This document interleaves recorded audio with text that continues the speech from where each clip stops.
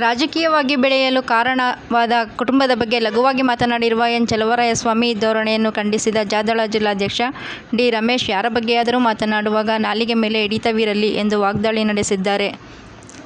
ಸುದ್ದಿಗೋಷ್ಠಿಯನ್ನು ಉದ್ದೇಶಿಸಿ ಮಾತನಾಡಿದ ಅವರು, ಯಾವುದೋ ಮೂಲೆಯಲ್ಲಿದ್ದ ಚಲುವರಾಯಸ್ವಾಮಿ ತನ್ನನ್ನು ರಾಜಕೀಯವಾಗಿ ಮಂತ್ರಿ ಹುದ್ದೆ ತನಕ ಬೆಳೆಸಿದ ಮಾಜಿ ಪ್ರಧಾನಿ ಎಚ್ ಡಿ ದೇವೇಗೌಡ ಹಾಗೂ ಕುಮಾರಸ್ವಾಮಿ ವಿರುದ್ಧವೇ ಅತ್ಯಂತ ಲಘುವಾಗಿ ಮಾತನಾಡಿದ್ದಾರೆ. ಅವರಿಗೆ ನಾಲಿಗೆಯ ಮೇಲೆ ಹಿಡಿತವಿರಬೇಕು, ಇಲ್ಲದಿದ್ದರೆ ಮನೆಯಲ್ಲಿರಬೇಕು ಎಂದು ಕಿಡಿಕಾರಿದ್ದಾರೆ.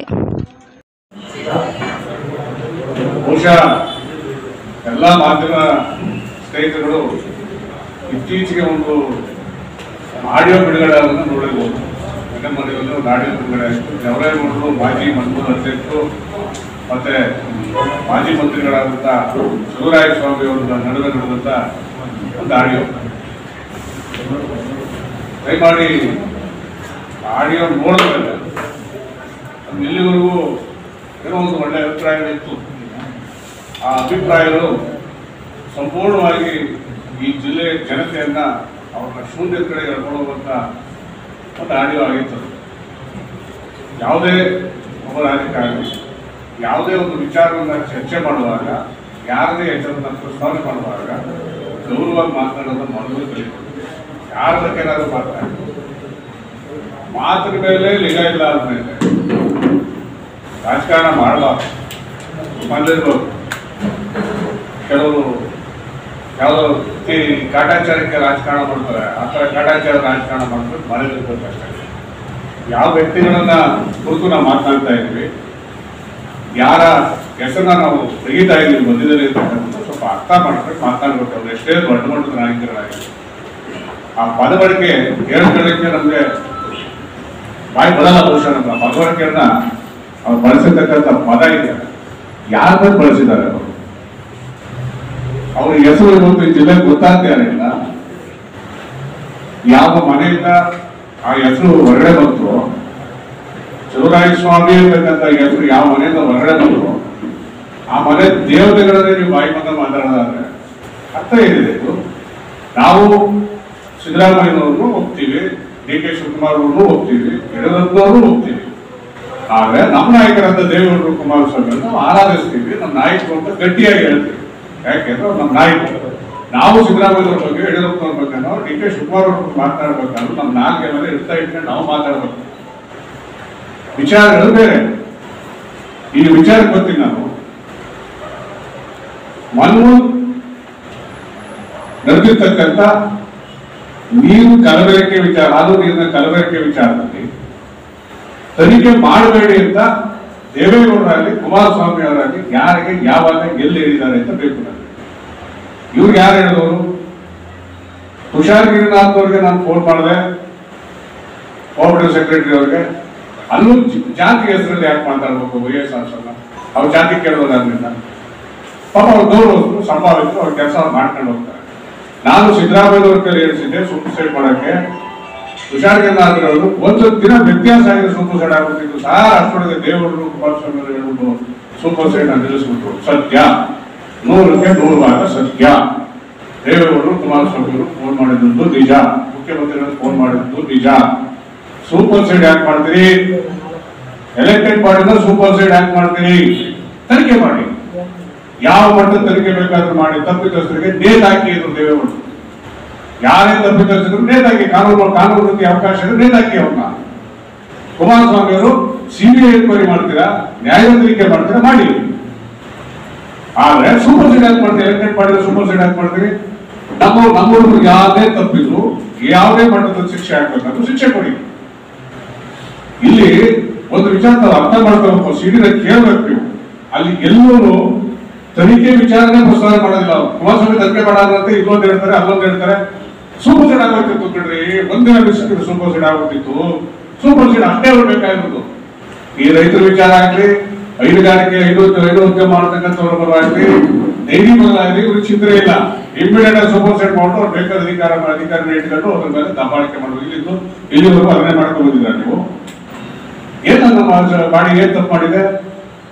ಈಗ ಇರ್ತಕ್ಕಂಥ ಆಡಳಿತ ನೋಡಿ ಮಾಡ್ತಕ್ಕಂಥ ತಪ್ಪಾದ್ರೆ ಏನು? ನಾನು ಎಲ್ಲಾ ಸದಸ್ಯರು ಸೇರಿಸಿ ಹೇಳ್ತೀನಿ. ಕಾಂಗ್ರೆಸ್ ಇರ್ಬೋದು ಬಿಜೆಪಿ ಸದಸ್ಯರು ಇರ್ಬೋದು ಎಲ್ಲರೂ ಪ್ರಾಮಾಣಿಕ ಕೆಲಸ ಮಾಡ್ಕೊಂಡು ಬರ್ತಾರೆ ಅಲ್ಲಿ ಸರ್ ಆಡಿಯೋ ವೈರಲ್ ಆಗಿದೆ ಯಾರು ಬಿಡುಗಡೆ ಮಾಡುವಂತ ಗೊತ್ತಿಲ್ಲ.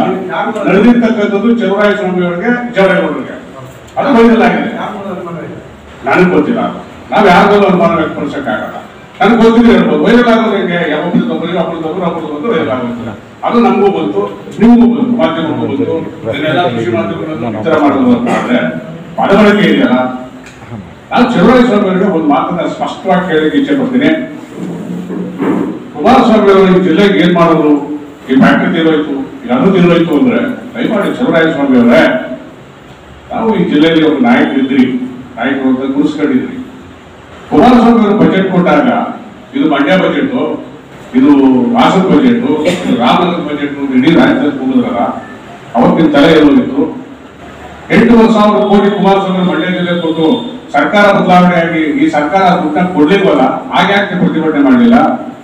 ನನ್ನ ಜಿಲ್ಲೆ ಹಾಳಾಗ್ತಾ ಇದೆ ನನ್ನ ಜಿಲ್ಲೆ ಕೊಟ್ಟು ಕೊಟ್ಬಿಡಿ ಅಂತ ಯಾಕೆ ಹೇಳಿಲ್ಲ ಮೈಸೂರು ಕಂಪನಿ ಕುಮಾರಸ್ವಾಮಿ ಅವರು ತೀರಿಸ್ಬಿಟ್ರು ಅಂತ ಹೇಳ್ತಿಲ್ಲ ನೀವು, ಅವ್ರಿಗೆ ಒಳ್ಳೇದಾಯ್ತಿಲ್ಲ ನಾನೂರು ಕೋಟಿನ ಬಜೆಟ್ ಅಲ್ಲಿ ಇಟ್ಟು, ನೂರು ಕೋಟಿನ ತೆಗೆದು ಸಪರೇಟ್ ಆಗಿ ದುಡ್ಡನ್ನ ಇಟ್ಟು, ಅದರಲ್ಲೇ ರೈತರ ಬಾಕಿನ ತೀರಿಸಿ, ಸಂಬಳ ಕೊಟ್ಟು ರೈತರುಗಳಿಗೆ, ನೀವು ಹೊರಗಡೆ ಹೋಗ್ತಕ್ಕಂಥವ್ರು ವಾಲಿಕೆ ತಕ್ಕಂಥವ್ರಿಗೆ ಅಂತ ದುಡ್ಡು ಇಟ್ಟಿದ್ದಾರಲ್ಲ, ಆ ದುಡ್ಡೇ ಯಡಿಯೂರಪ್ಪರಿಂದ ಒಂದಿನ ಕೇಳಿದ್ರೆ ನೀವು?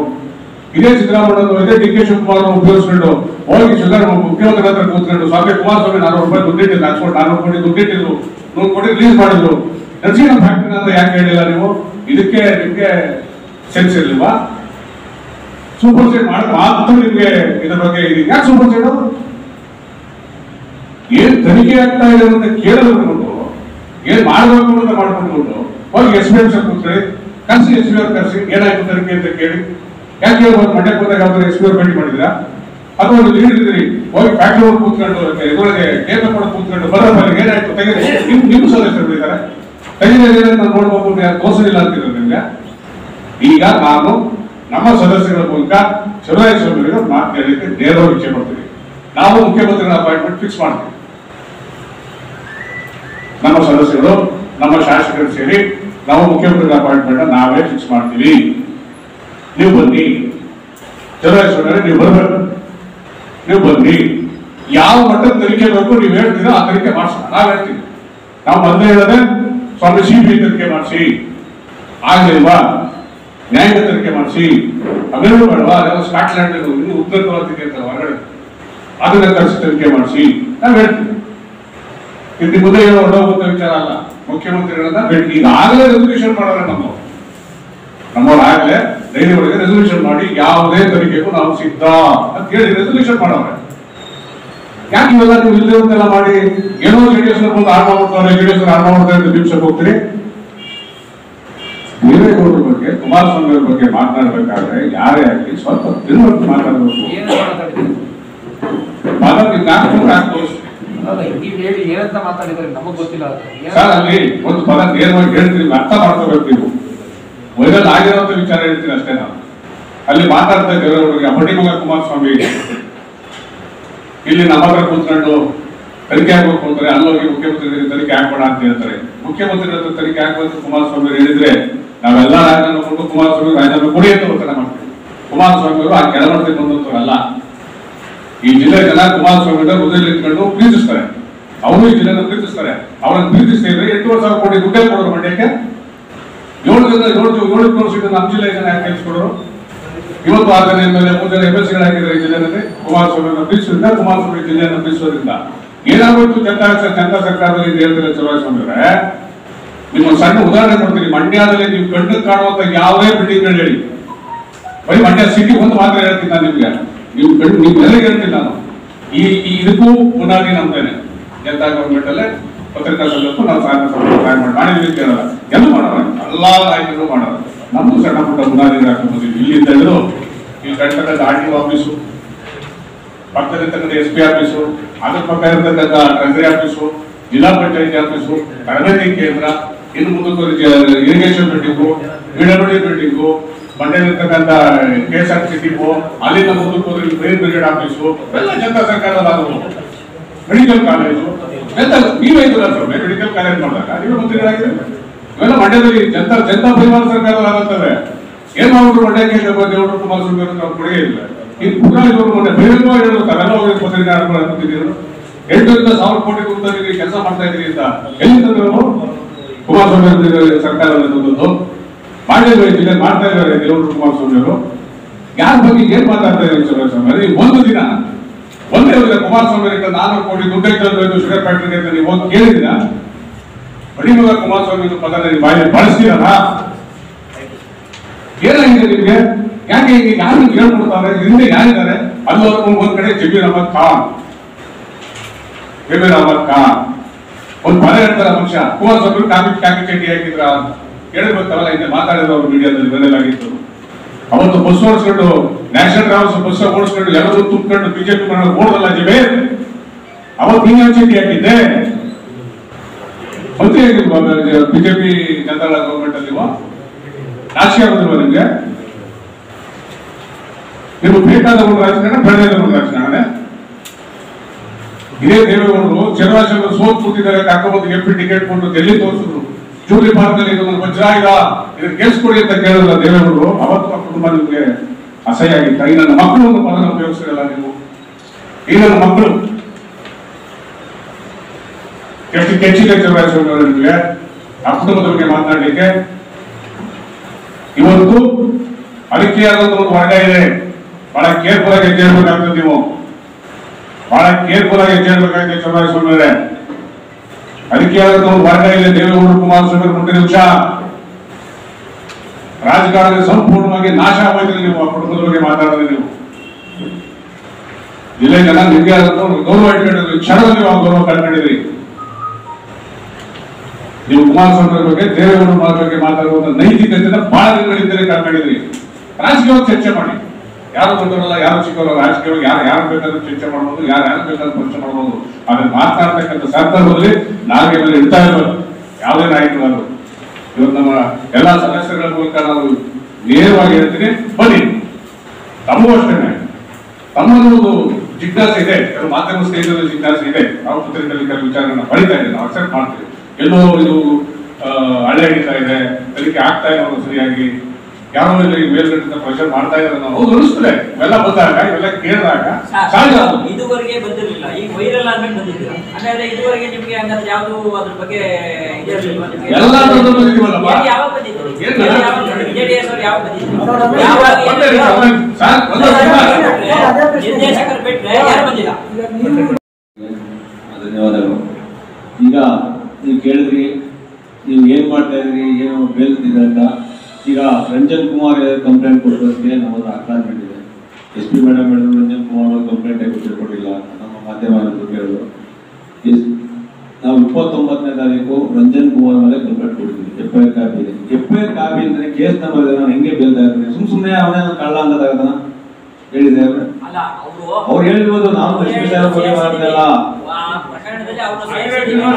ಕಂಪ್ಲೇಂಟ್ ಕೊಟ್ಟಿದ್ದೀವಿ. ಕಂಪ್ಲೇಂಟ್ ಕೊಟ್ಟು ಆ ಕೇಸ್ ನಂಬರ್ ಮೇಲೆ ಬೇಲ್ತಾ ಇರೋದು ಕಂಪ್ಲೇಂಟ್ ಕೊಡಿದ್ರೆ ಕೇಸ್ ನಂಬರ್ ನಾನೇ ಕಳ್ಳ ಅಂತ ಯಾವ ಬೇಲ್ತಾ ಇದ್ದಾನ?